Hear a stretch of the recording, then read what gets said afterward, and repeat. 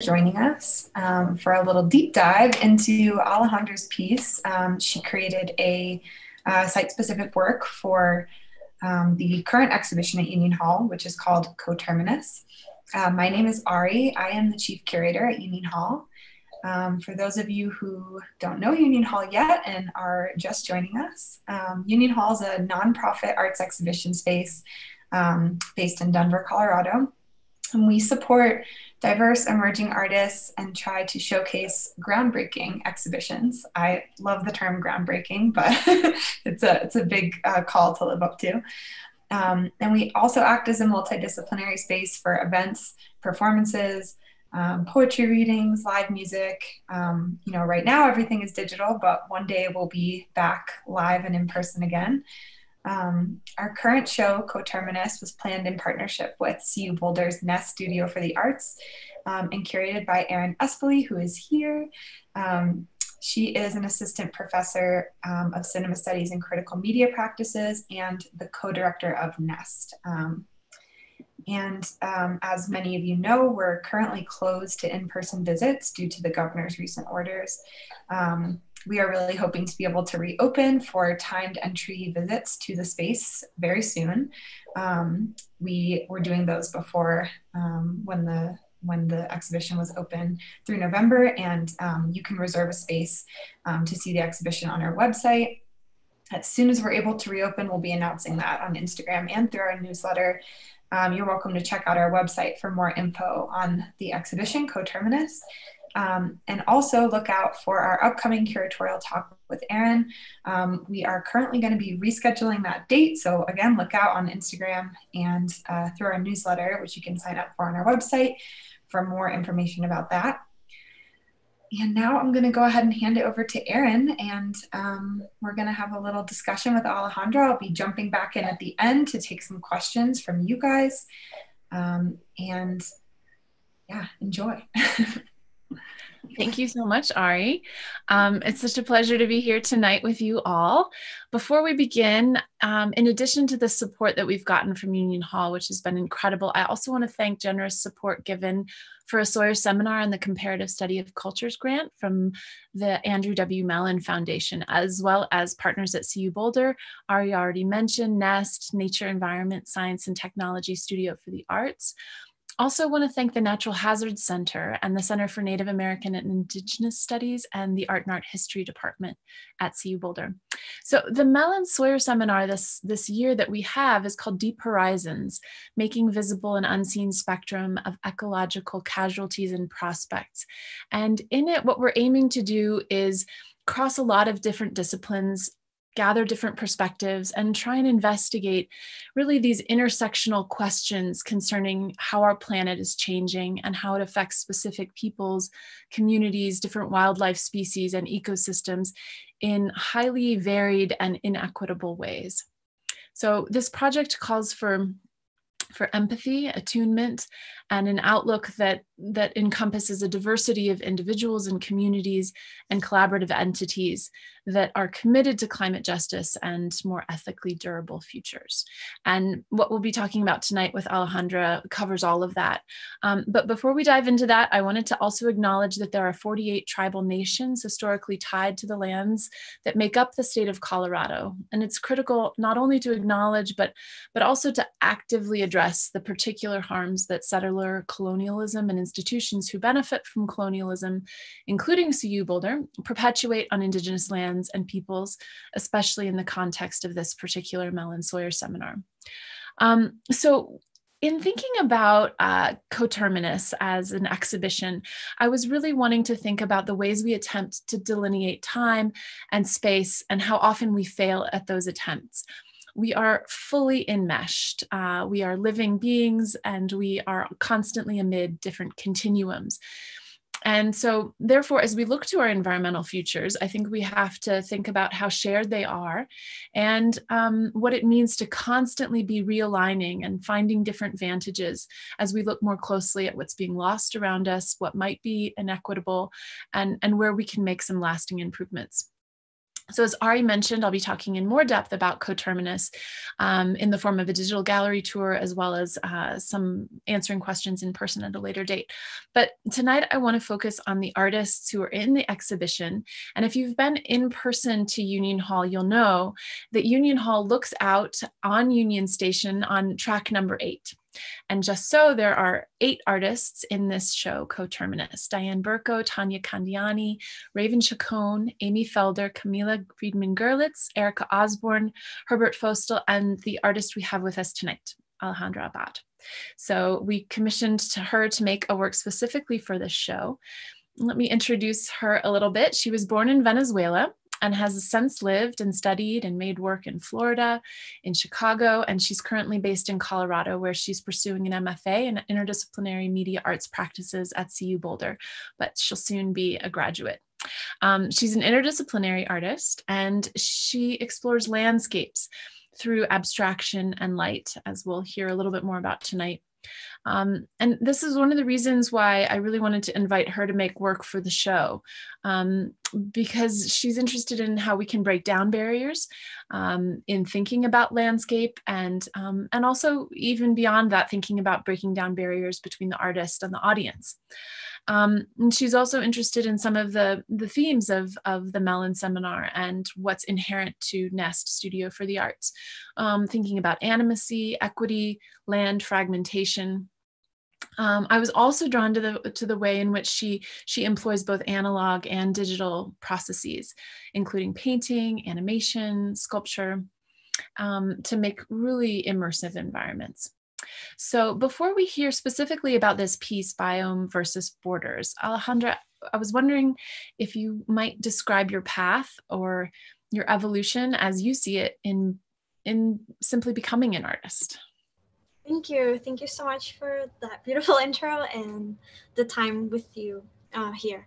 Um, my path. My path began as a child in Venezuela, and I saw so many changes um, growing up with my family, growing up with my brother who is deaf, definitely um, the way we communicated with each other was uh, drawing and playing games that were very visual.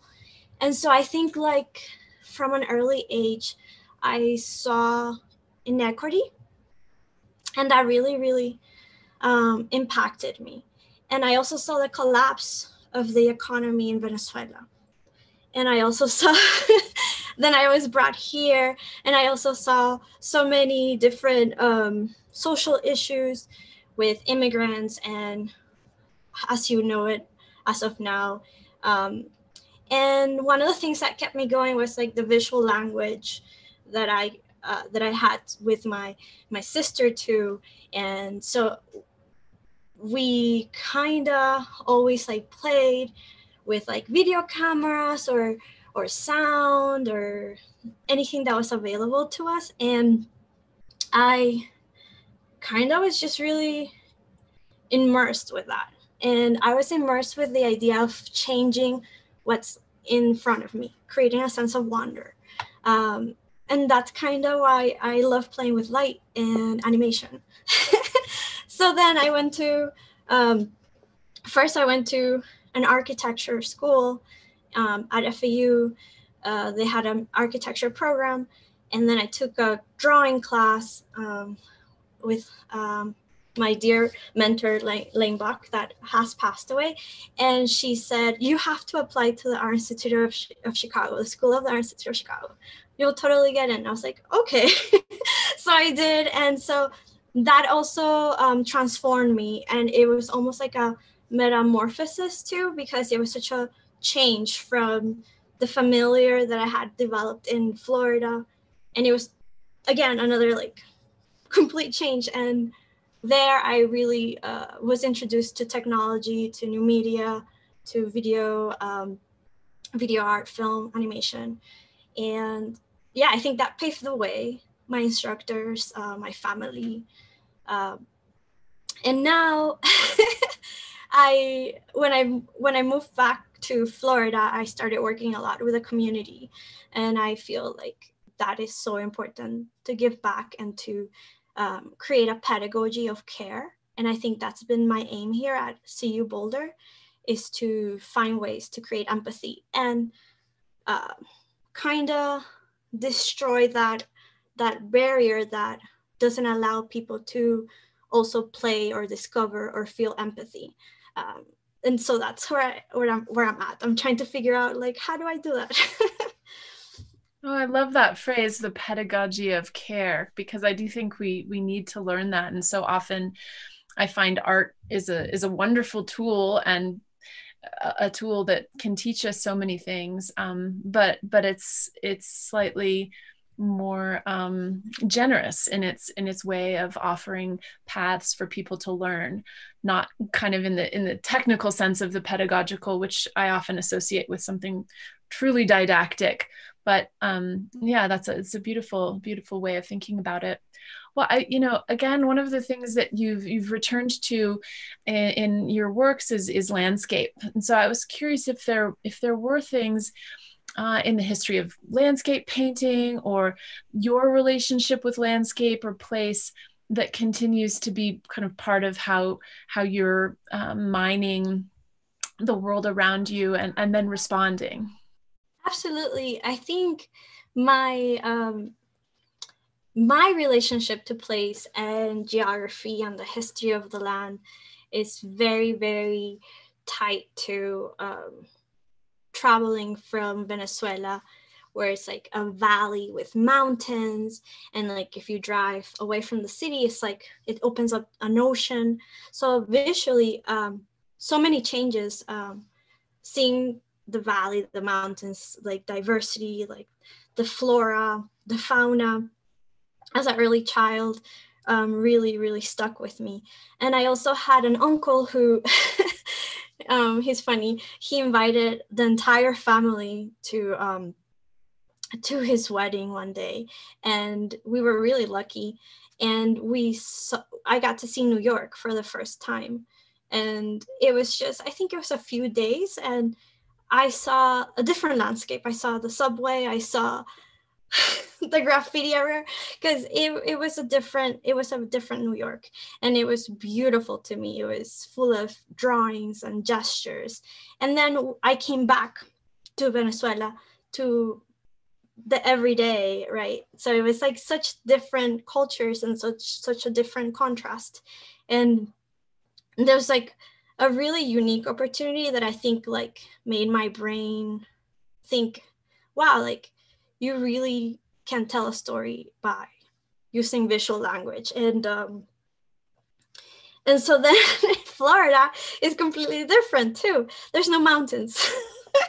so here starts the, the exploration for fragmentation and identity and storytelling and non-linear uh, ways of telling stories. So abstracting and creating rhythm. And I've always been really interested in in that idea of how different different places look and how they're attached to equity and and and how they're attached to real people and why is it that there's so many um, issues depending on zip code for example so and that's always been in my mind uh, you know if you apply for a job or if you apply for a school like they look at your zip code and all of these things are always like the land is the land like where are the borders right? Um yeah. Yeah exactly. And i think that um you know we're seeing a little bit of your work right now behind you. Uh, but let's but let's dive into that into that work because exactly as you mentioned zip code that played a role in how you started to think about this piece. Um, and certainly we i think as we were you know co-collaborating in our explorations around this, we were also influenced by the election, which did interestingly break down so much along um, urban rural divides. So I, am I'm, I'm so curious about some of the ways those that that's influenced this project too. But maybe you could walk us through. I certainly had such a, a wonderful experience um, as we as we thought about this commission, and it started just so the the people kind of watching can know, it started with an idea about um, a scientific study that was looking at specific areas, um, urban and rural areas that were impacted in in varied ways uh, with environmental pollution. So both in California, and then this study also was looking at North Carolina, uh, and uh, and so we were we were thinking about these maps and the way in which these maps were so stark because so many things lined up, um, income levels, uh, the higher the income level, the better the air quality, or the less pollution, et cetera. And so then that started to infuse this project. Um, and, and we came even closer down to Union Hall and started looking at Globeville um, and the Superfund sites that are, that are so close to where this, where this exhibition is. So maybe you could now take us into the, to your process of, of creating this piece. Yeah, absolutely. I'm, if, if it's okay, I'm going to share my screen. Um, this process, uh, came about a lot of conversations and I am really lucky to have been able to conversate with you. Um, let's see, here is my screen and I will enter. All right, can everybody see this? That looks great. Okay, great. Um, so if you've been to the exhibition, like was said before, um, it's in it's in the train um, station. So Union Hall is connected to the train tracks, and so there's a lot of uh, lines and borders and elements that um, surround the area. And so we were really thinking about what's connected um, to Union Hall. And so by looking at some of the maps that I'm going to show you, uh, we started seeing um, through conversation. We, I think we were having a Zoom conversation that day, and we were fascinated, especially by the organic shape that the uh, tra- train tracks have, um, and how there's all this movement. And I, at first, I imagined this piece as a moving piece, um, as an animation, because I kind of saw like these uh, train tracks as like veins and pumping.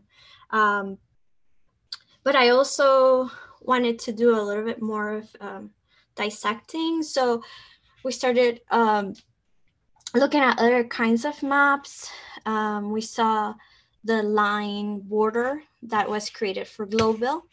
And so this is kind of the shape of Globeville right here, um, which was also incorporated to the sculpture.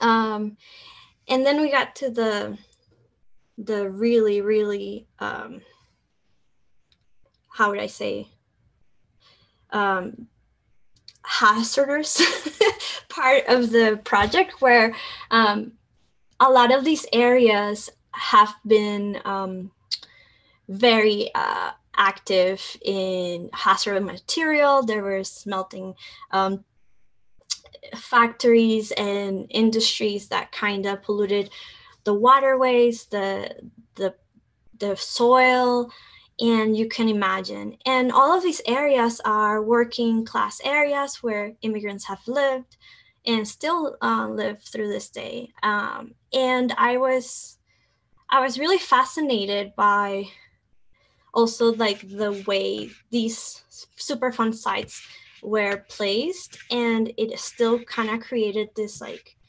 um, embody uh, I don't want to say circular, but it, it, it was contained in Globeville and the areas around it, um, the north side of Denver. And I was wondering, wow, like what is what are these areas um, look like now? Because many of these um, areas the EPA erased, right? Um, now they're in reused. But what does that even mean? Um, when there's all this history, right? And so we were looking at the health equity and we were looking at the heat maps. And of course, with impervious surfaces in North Denver, a lot of these elements like parking lots, um, railways, roofs, roads, driveways, all of these create and trap a lot of heat. Um, and it's a lot of in like commerce areas and industry that is um, and so when you look at the heat map you can see here's like Globeville and Union Station is right here. So my whole approach to this is how we're how these borders are there, but we're very um, connected, like one organism. And so that's where all these like elements started um, happening. And this is kind of like where I started making choices of what elements I was going to show in the map. Um, and a lot of the heat also happens wherever there's like uh, traffic uh, by cars. And so it also affects the quality of of um, of the air too. So it has all these elements. So yeah there are other places in the world that are really polluted but Globeville in particularly has a long history and has all these elements that kind of um, suggests that um, a lot of the people um, have health issues. And so that's a really big problem. Um, that doesn't go away by just erasing it from the EPA. Um, so thinking about that, I decided that I was going to collect material. Um, so I collected flora and recycled paper, um, and I combined it with other kinds of paper. And I started this process. Um, here's an example of like the pulp with like flora. Um, and I will show you a little bit of like what these places look like and what like the material starts looking like after um, I put it together. Um, this picture is in Commerce City and the Woodbury Chemical Company is not there anymore, but I use the reference just to give you an idea of like what used to be there. Um, and this is the Sarco Inc. Globe plant. This is where it would have been. Um, all this area over here from 51st to 55th. And then it extends on Washington all the way to like the highway. Um, obviously, it's not a, a Sarco anymore, but it used to be there. And so now it's in reuse. So I, I started collecting a lot of the materials um, from the areas uh, nearby. And a lot of the material like uh, started leaching like a lot of rust, rust and different kind of colors. And it was very poetic because it really does like represent this industrial, hard chemical and pollution. Um, and this one was a collection of wildflowers at the Vasquez Boulevard and 70, I-70. And there's like a little park. There's actually various little parks in the middle of all these like in the industrial areas, which I found really interesting. Um, also, this one was really interesting to me. This house was kind of being taken over by by nature and i just thought it was so fascinating that uh, this this it's like really poetic. It's like nature and like human. Although we're all one, like one organism right? Like we're all nature but it just you know fauna over like these man-made uh, materials. Um, and this is a little close-up of the material and this is when it's flat um, but I allowed all of these materials to air dry naturally and I didn't um, I didn't give it a shape. I just kind of allowed it to dry and take its own shape. Some pieces started breaking and I, I was okay with it. I was like, okay, you you broke. so um, and then I'm gonna talk a little bit about how the elements came together. Um, so so many pieces. It's like a big puzzle. It took forever to put together. Um, and the way that i did it was through mapping. So it, it's it was very meta. It's like i'm making a map by using a map. Um, and putting the ratio and the proportions and and repeating and doing this like hand labor um, planning and connecting. And every time I saw this, I just saw it moving. Um, even though it's like a still map, I I see the movement, and I think. Um, as I will show you later, these pieces uh, hang from the ceiling, and the bigger pieces, the organic pieces, sometimes catch the air from the gallery and they start moving. So I feel like it's alive in, in a way. Um, it has this like life. um, and then I just wanted to show you some pictures of some of these places and, and you can see the city um, skyline here. But this is very much like what it looks like now. Um, this used to be an active site. Um, now it's in reuse. Um, it's very, very industrial, a lot of concrete. And so now you can start getting the picture why the heat map would be so high and red because there's a lot of concrete, there's not a lot of green, uh, metal, uh, and here's another picture of the edge of uh, Washington. Here's where the highway is.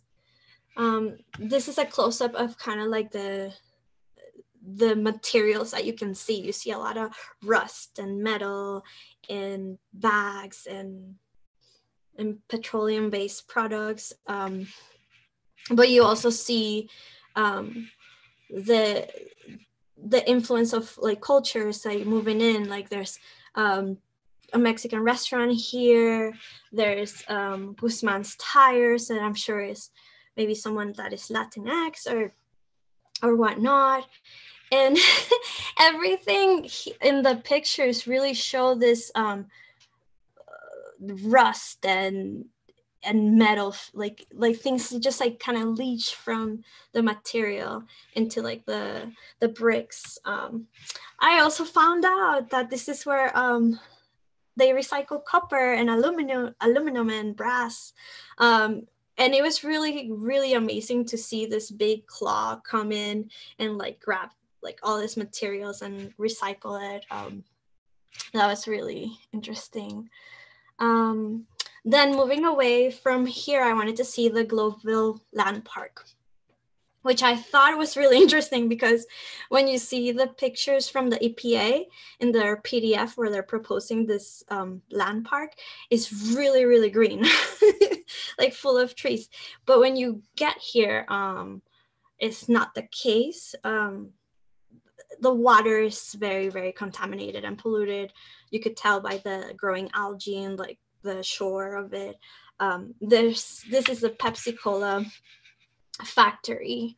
Um, and it just gives you a very, very uh, different prescri- uh, description of what you read and what you experience on foot. Um, and here's a beautiful logo. And then I moved also into the Vasquez Boulevard and the I-70 area. And there was always the presence of the train tracks, which I think was like really connecting to the work and really going back to Union Station. How, like all these ways are connected to to the site. Um, and you know, there's a certain beauty about these big um, industrial like pieces, like next to like a like a sunset um, and there's things that are happening uh, that are like really really interesting. Like i found this picture of a reward for like a missing uh, cross-border and mexican id card that somebody lost which also goes back to like this like history of this area being um, since the 1800s like uh, immigrant area. Um, and also I started seeing um, that a lot of the the flora, a lot of the the bushes, a lot of the leaves had like also the same type of rust, like this kind of browning, um, which I thought was really interesting, and a lot of markings, which really like was like really fascinating. Like I just saw so much play in the area. Um, this one area is the what used to be the Woodbury Chemical um, Factory, and this is the Commerce City area. And all of these places are really, really close to each other, by the way. Um, and just like traveling through here, this area was like, do not enter, which is like, hey, like this is my my turf. so it was just really interesting going back to this idea of like human and like what like nature does naturally and then i was wondering like i have no idea why this water is like if it's water because i think it's very rusty looking. I don't know what it's going on there but i took a picture because i thought it was um, really fascinating. Um, and these are other elements um, oh i jumped. And then i also um, the last stop was um, sand creek industrial area. And i took some pictures um, over the highway areas where there's supposed to be like this nice lake area but it's not the case. It's very very much polluted. And but the martin luther king area is like way nicer than that area. But I still I still extracted some some of the plants from different parts of um, this area.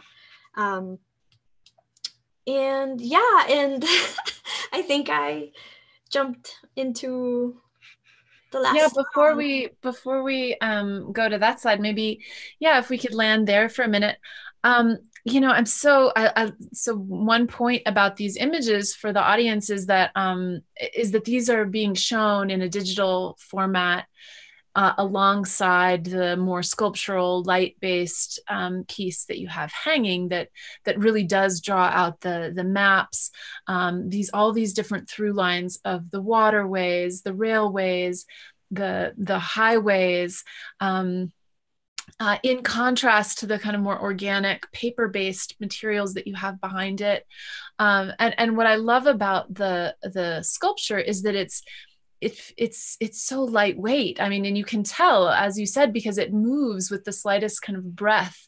It, it kind of shivers and shimmers and sh- you know shimmies around um, as people move past it, and so you feel the lightness of it. I mean, it really does feel like it it could just lift off and and, and fly away um, in contrast to, to these heavy metals that are contaminating all aspects of, of um, some of these sites that are that are so close by, and you've chosen to represent those in with digital materiality and the fact that you are using a device um, that really highlights oh yes these are the materials that we need for our digital technological world um, so the fact that you chose to have that there i think is is quite poignant. Um, and I wonder if you might talk a little bit more just about the final, the final sculptural component of um, of the, the, the quote unquote map. Um, and, and, just your some of your decisions i mean you use so many different materials. You talked about the um, about the paper that you made from the sites but also there's there's wood that you laser cut. Um, could you go into maybe a little bit more detailed about um, also you just your choice of, of how to decide what was positive and negative space and how light itself also becomes this character in the performative aspect of the sculpture Oh, absolutely. Um, thank you for noticing that. Yeah, I think that we are in this mess together, like the, the technology and the modernism and the promise of coloniality. um, and and yeah, so we but then we have these materials that are so so so light. And so the way I um, decided to do this is that I I kind of imagine these layered and and and that one piece wouldn't be more powerful than the other? Does that make sense? Like one piece complemented the other. Um, and i also thought um, that the lighting was like super super important because it created this element of like shadow and the play of movement and and dimension and so with the with the organic pieces i decided to put them in the back. And the reason i did that was because if i were to do that um, they could easily uh, rotate and not be constrained by the roads the maps um, ha- kind of like pointing at freedom like and giving them agency as like they can take over this structure and they're like at this um, coexistence with each other. And so the negative and the positive became like a conversation between the two um, elements. And you have the very planned uh, s- strict grid but then you have to build around nature right you have to re- like build around the river you have to build around like different elevation. And so there's still a conversation with with nature because all of these elements are drawings that uh, pertain to the land and the landscape. Um, and so that part um, i think started coming together after cutting it um, up and having all the pieces away from each other and then kind of layering them and comparing them to each other. Um, there are some things that i thought would work. I had another layer which was um, laser cut waterways into this um, mylar material but it was just not it was just not working with like the lightness of the paper and so i scrapped it. And so there were some things that the sculpture wanted to do also um, and i couldn't fight like it was just not um, oh, wonderful yeah oh fantastic well um I wanted to I want to make sure we leave room and space for people um, in case there are any questions from the audience. So I want people to know that um, that they can put questions in the chat, and we'll turn to those in just a second.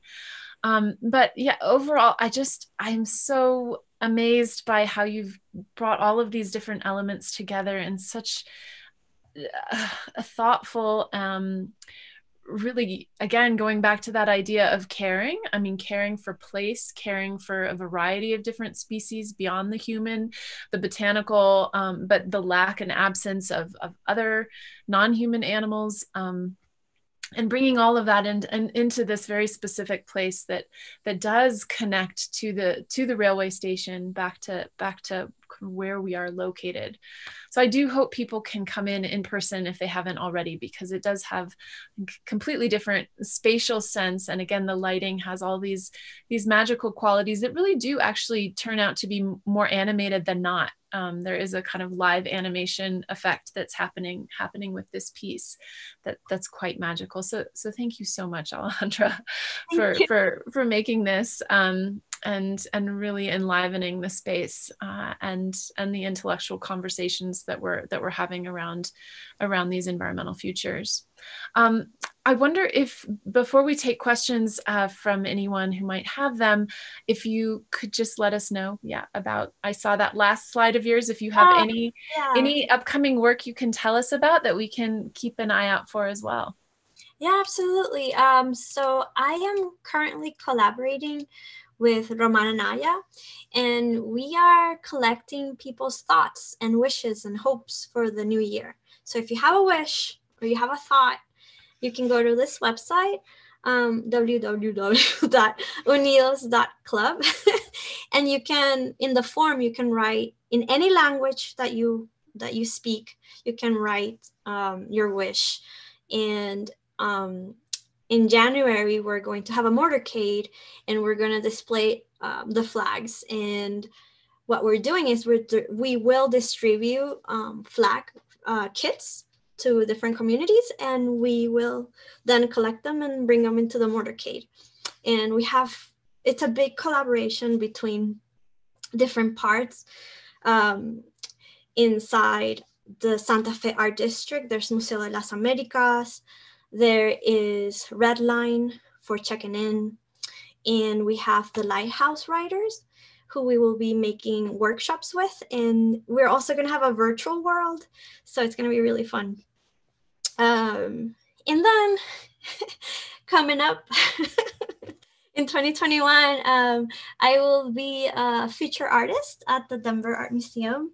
Um, and I'm really excited about that. And we're also uh, thinking about care, we're thinking about empathy, borders, um, and how these connect and how we have boundaries and what does that like, how do we uh, speak on that level?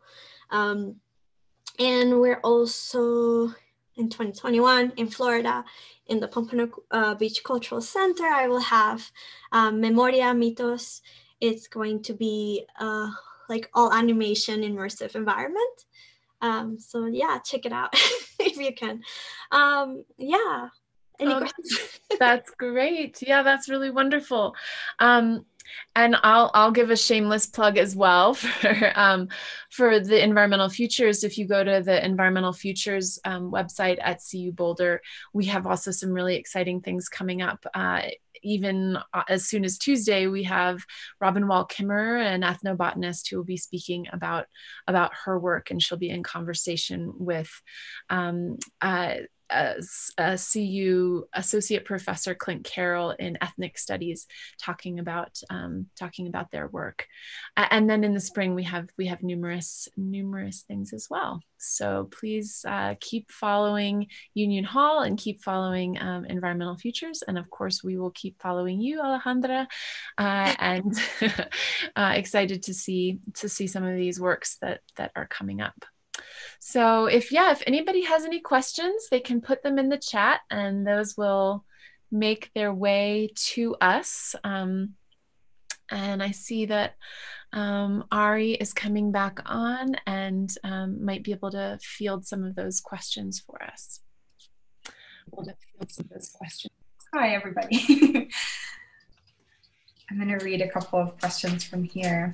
Thank you, Alejandra. That was a beautiful walkthrough of the piece, and I, I loved seeing the photos. I feel like that um, element of it, especially being able to. See, um, it's it's really wonderful to see like your whole process of creating the paper, and yeah, I just enjoyed all of that so much.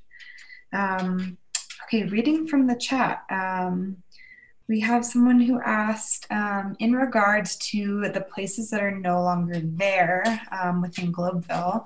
I'm assuming she's talking about the Superfund sites and some of those um, places where all of that um, industrial activity was going on. Uh, why are they no longer there? Was it for economic reasons? Um, and also, she wants to thank you uh, for bringing a sense of wonder to, to your work. Oh, thank you. Um, the reason they're not there is because um, they had, I think they had, they had to close. For example, the in 1993, I'm going to estimate it was 1993. Um, they had to make this big effort to remove the oil, to change, uh, to to dig dig and the waterways and that is very costly so yeah i don't think i don't think a company uh my guess is like i think like a company that did so much damage would stay continuing that damage. So my guess is that yeah like the epa intervened so that we would have like a healthier uh, city. And uh, they had to because i think by law we have to protect humans. Our human rights. Um, but um, but i do think that that doesn't mean that economically like the the area is dead. Actually there there is full of commerce. And as you saw there's like a restaurant and it's still very um is i still think it's very industrial to be honest. Um and should be more regulated. I think also there's a lot of shipping um, that goes on in that area now too. Like the big Amazon facility for Denver is now there, and yeah. um, I've noticed. Um, I used to live sort of close to there, um, and I've noticed that it's a lot of um, activity that you know still uses some of those same pathways, but just in completely dif- different ways than um, the previous industrial sort of spaces that were there.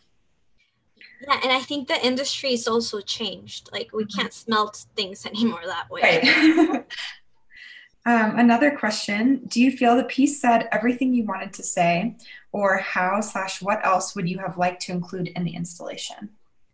Oh, that's such a good question. Um, thank you. Yes, I kind of think that I was really obsessed with the idea of creating an animation that was projected onto the map that kind of created the movement of the ways of the railroads and the and the ways and i think that's still in my head but i don't think that that i would change it as of now because what ended up happening is something really poetic is that i used um, um, cellophane paper that was red to put it on the light bulb, not directly on the light bulb, like with a distance, with a safe distance. Mm-hmm. So then it projected the zone, like the heat map almost, to the area. And behind the the lines, there's like these movements are happening with the light and and the organic paper. And I don't think,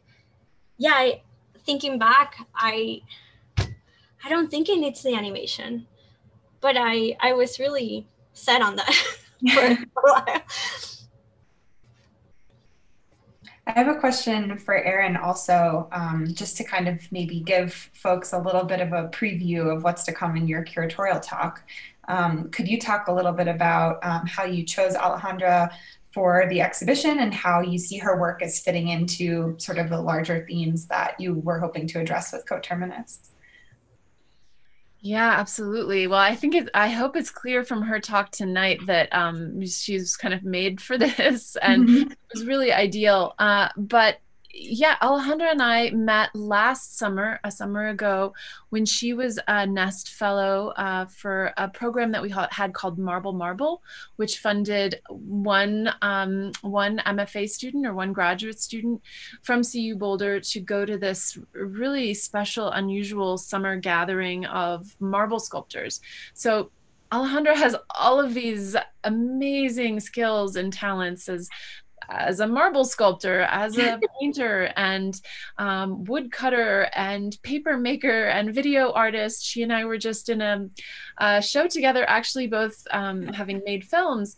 So that was one of the things that really interested me. But most of all, I, I think it was the fact that Alejandra has this kind of great capacity for research uh, and and incorporating really in sensitive fashion ideas. And that was what i wanted to do is work with someone who would really um, respond to this idea of what coterminous is. And so at the beginning of our conversations which started many many months ago uh, we just really started with that with a, a, statement I had come up with about what it what it is to think about things being so enmeshed and intersectional um, and then we really were able to kind of develop from there but it, it's this leap of, of, of faith as a curator to say oh could you make something? And i hope that it will tie everything else together in the whole show. And and it did. So uh, i feel yeah really really fortunate that we that we got to work together Absolutely. I feel like it's such a signature piece of the exhibition. Um, you know, it's right there when you walk into the gallery, and I think it's just a strong connection to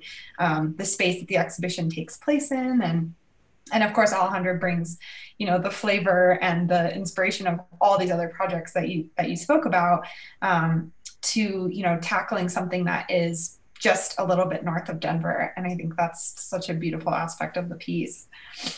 Um, a couple more questions from the chat. Um, millennial gentrification movements have reversed the decline narrative around cities that prevailed in the 70s, 80s, and 90s. Do you think this is a good thing and do you think it will continue? So I hear you say millennial? yeah, that's what it says in the um, but I think I think it means um, the gentrification that sort of oh. started to boom around the millennium. Um, I see. Wait, okay. Yeah, so like the past twenty years or so. Yeah, I so I told everybody earlier that um, I had lived in Florida, so I'm definitely very familiar with gentrification. I've seen Little Haiti um, and how like a lot of like galleries move in, yeah. and now they're really thinking about taking it out like out and and building all these like hotel industries when that's a very national like that's a national treasure. Mm-hmm. it's a beautiful like city that has like so many cultural centers. So i think yeah gentrification is does affect right? Because when we as creators don't acknowledge that i think we are also hurting the people that are from those neighborhoods especially like you saw like that that area in north denver is very like working class and yeah i'm so i think that conversation is is very similar to what's happening with like nature you still go on that road to take the highway and then you take that highway and then back home and then you still put that gas into the the, mm-hmm. the car. And so are we complicit? I think we are. Um, but I also think like if you don't go to work, then you don't get paid or also. So it's like a very complex answer.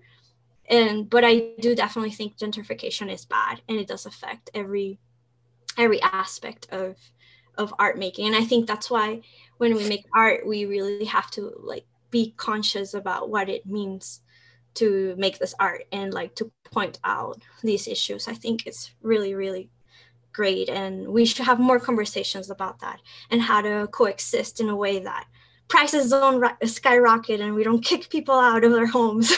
I've actually heard, I read something recently like the term gentrification sort of like rebranded as art districtification because there is sort of this practice that happens when you know there's certain um, spaces within a city that have fallen into disrepair. Maybe the uh, industry that was previously there left or maybe um, it's just poorer working class communities that are living there which is seen as undesirable by developers within the city. And so um, so often we see those areas first converted and taken over by artists.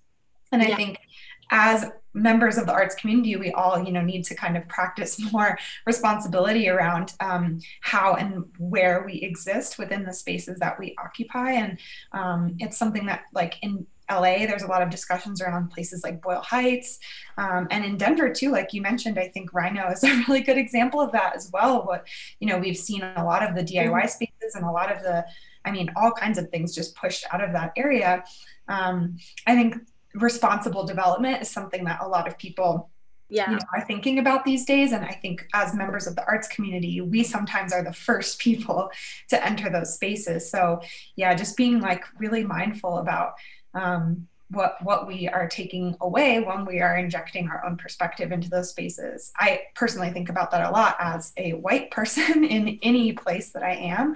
Um, it's just kind of trying to be you know more responsible and more mindful about how we're taking up space and, and how and how we're contributing as well um, yeah, I agree. There's one more question here that I think is a really good last one to wrap up, um, and it kind of relates um, to the previous one here too. But um, what would you like the viewer to take away when they see your installation?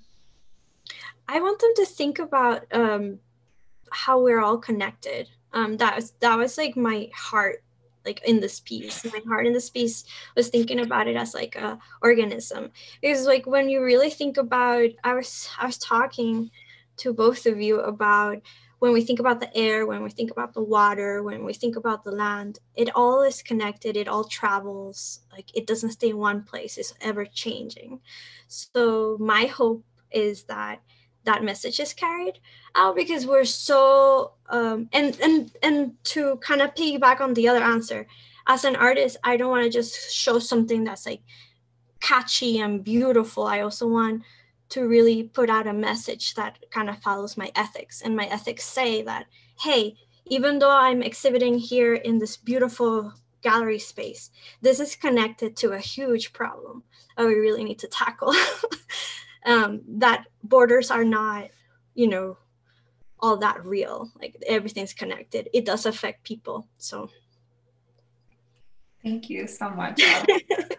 I think that's a I think that's a great place to leave it. I mean, I think that is sort of like the connecting thread throughout coterminous as well, is just that like all of these factors are so inextricable the way that they affect various different communities around the planet, the way that they affect wildlife and um, and natural resources. And um, I just really appreciate you both taking the time tonight to lay some of this out for us. And it was so great to dive deeper into your piece and, and learn more about your inspiration and your process. And um, yeah, thank you guys both for being here. I, I so appreciate it.